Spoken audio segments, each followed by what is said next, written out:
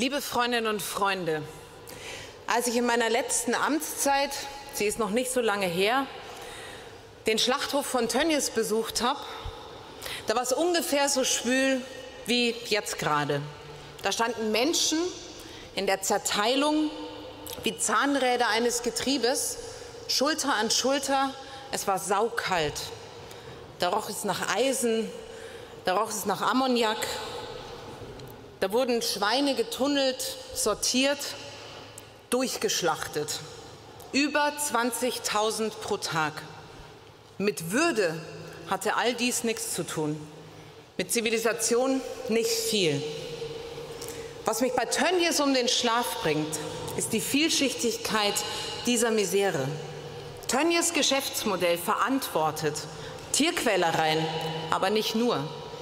Nitratverseuchte Böden, aber nicht nur. Miserabelste Arbeitsbedingungen, aber nicht nur. Die Geringschätzung bäuerlicher Erzeugnisse, aber nicht nur. Dieses Geschäftsmodell legt fatale Verflechtungen zwischen politischen und wirtschaftlichen Interessen offen, aber eben nicht nur. Es geht um mehr. Es geht um all das zusammen. All das hängt zusammen.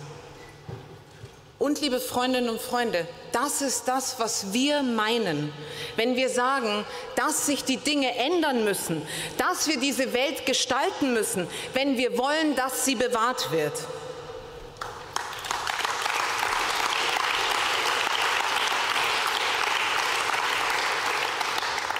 Und ja, manchmal fühlen wir uns klein, so ganz einzeln, angesichts eines solchen Systems das über Jahrzehnte vom Filz gefördert wurde und jetzt fast unüberwindbar scheint. Aber ich habe Parteipolitik deswegen angefangen, weil ich daran glaube, dass man etwas ändern kann, dass die Dinge nicht so bleiben müssen, wie sie sind. Manchmal geht Veränderung unverhofft schnell und manchmal quälend langsam. Aber mit uns Grünen geht Veränderung in die richtige Richtung, liebe Leute.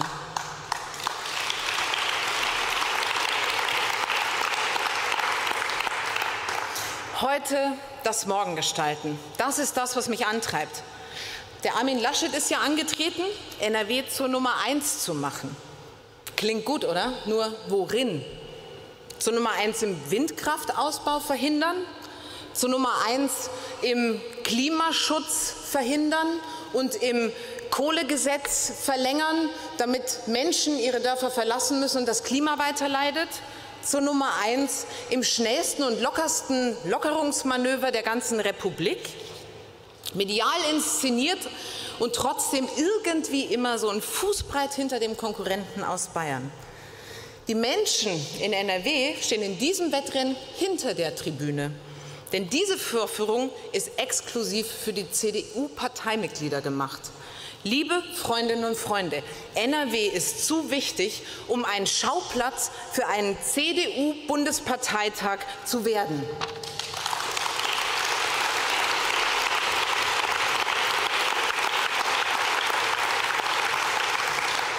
Und wir Grüne wissen, wo wir hinwollen mit unserem NRW. Mit uns wird das Land von Stahle und Kohl zur ersten klimaneutralen Region Europas. Das, liebe Freundinnen und Freunde, ist unsere historische Aufgabe, die wir hier in NRW zu leisten haben. Das ist unsere gemeinsame Aufgabe. Und immer mehr Menschen versammeln sich hinter dieser Idee, egal ob im Hambacher Wald oder bei Fridays for Future. Das merken wir doch, wenn wir Unternehmen besuchen, wenn wir die kleinsten Initiativen besuchen.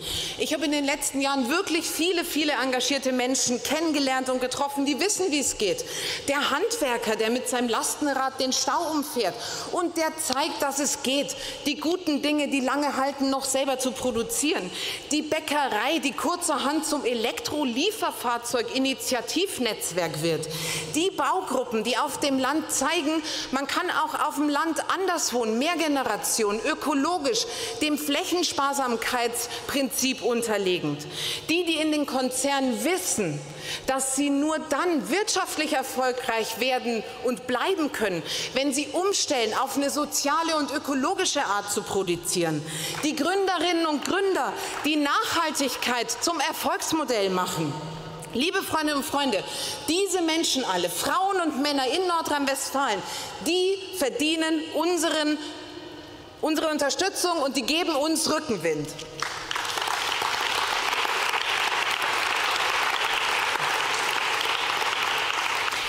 Aber wir wissen auch, diese Transformation gelingt nur, wenn alle Platz finden in diesem neuen, in diesem klimaneutralen NRW. Die jungen Familien im Rheinland, die sich die Miete nicht mehr leisten können. Die Stahlarbeiter im Ruhrgebiet und Siegerland. Die jungen NRWlerinnen, die noch immer in einem Bildungssystem des 20. Jahrhunderts hängen müssen. Die vielen, die jetzt um ihre Existenzen bangen. Die die Sorge um den Verlust ihres Arbeitsplatzes verunsichert. Deshalb muss unser grünes Wirtschaftswunder auch ein soziales Wirtschaftswunder sein. Hinter dem Wirtschaftswunder muss sich ein neuer Gesellschaftsvertrag verstecken, einer, der Freiheit und Gerechtigkeit mitatmet. Sanierte moderne Schulen für alle, geschützte Radwege und Plätze für die Menschen, beste Bedingungen für die, die sich um unsere Kinder, unsere Alten und unsere Kranken kümmern. Und Solidarität untereinander und miteinander und das Wachstum, was produziert wird, findet im Grenzen des planetaren Möglichkeiten statt. Beim Begriff Wirtschaftswunder, Freundinnen und Freunde, sollen bei uns alle profitieren. Es soll ein Wunder für alle in Nordrhein-Westfalen werden. Und das sage ich auch an die, die vielleicht alt und altbacken und altdenkend im Wirtschaftsflügel von CDU und FDP sitzen und bei dem Begriff Wirtschaftswunder an Pelzmäntel, dicke Zigarren, dicke Mercedes und die Buttercremetorte von Oma denken. So denken wir nicht, weil für uns bedeutet ein Wirtschaftswunder auch Vielfalt. Unser Vielfalt und unser NRW hat es verdient, echt vielfältig auch in der Wirtschaft zu werden, unsere Gesellschaft in Vielfalt zu stärken. Weil wir meinen damit nicht Vorstände, in denen mehr Thomasse als Frauen sitzen oder mehr Peter als People of Color. Unsere Vielfalt ist keine Komfortzone. Integration ist anstrengend und sie erzeugt auch Reibung. Aber wenn wir es gut hinkriegen, liebe Freundinnen und Freunde, entsteht daraus Wärme, neuer gesellschaftlicher Halt, Wärme und Solidarität untereinander und miteinander.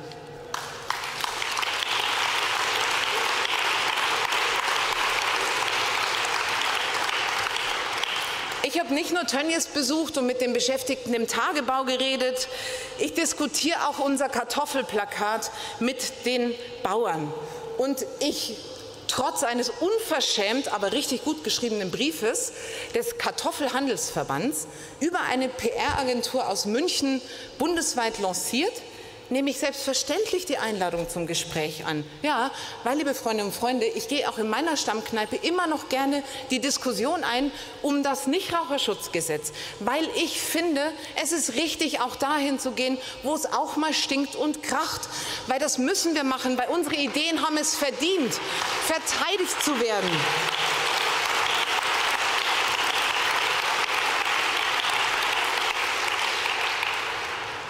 Wir brauchen breite Bündnisse. Das heißt, wir brauchen die Klimabewegung, die sozialen Bewegungen, wir brauchen die Unternehmen, die Gewerkschaften.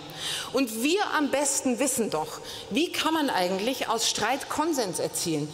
Denkt mal dran zurück. 40 Jahre lang machen wir nichts anderes. Das ist unsere innerparteiliche Demokratie, die sagt, wir streiten auf inhaltlich hohem Niveau, aber finden einen Konsens, der alle trägt. Mit dieser Grundkompetenz auch Demokratie zu organisieren, müssen wir uns zutrauen, diesen Wandel zu begleiten als Grüne. Wir haben in den letzten drei Jahren echt viel erreicht. Wir sind gewachsen an uns selber und nicht nur in den Mitgliederzahlen. Und heute, das Morgengestein, das gilt halt auch für unseren Landesverband. Wir haben viel Programmatik gemacht. Wir haben uns neue Finanzierungsmodelle für Bus und Bahn überlegt. Wir haben eine Antwort gegeben, wie man Transformation gestalten kann, digital, sozial und ökologisch. Wir haben in der Bildungskommission einen sehr, sehr guten Bildungsbeschluss gefasst. Und vor allem haben wir so viele Kandidierende, selbstbewusste Kandidierende zur Kommunalwahl wie noch nie zuvor. Und das nicht nur im, im städtischen Bereich, sondern vor allem auch im ländlichen Bereich. Und wir wachsen und wir hören nicht auf zu wachsen. Das ganz Erfreuliche ist, es kommen immer mehr Frauen zu uns. Und ich rufe euch zu, liebe Frauen, in den Streams. Und alle Frauen, die hier in der Halle sitzen, Und auch alle Männer, die hier in der Halle sitzen.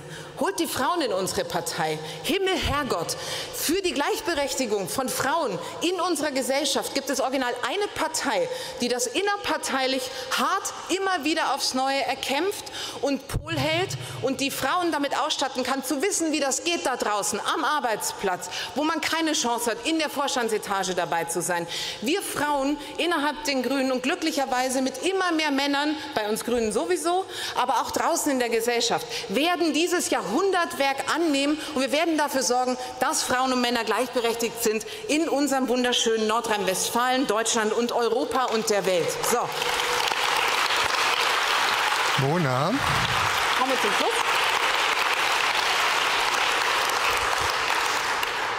Ich habe noch eine Sache, komme aber damit zum Schluss. Ich bewerbe mich bei euch als eure Landesvorsitzende jetzt.